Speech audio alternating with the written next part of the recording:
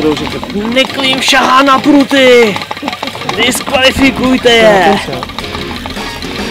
Vidíte, jak zodpovědně se připravil na zítřejší den.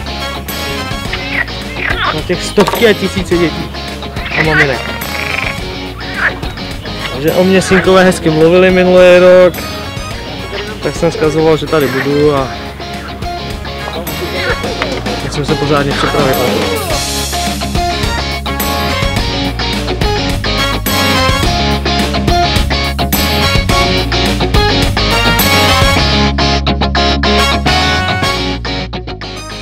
Teda čo, co epicky výnimočné.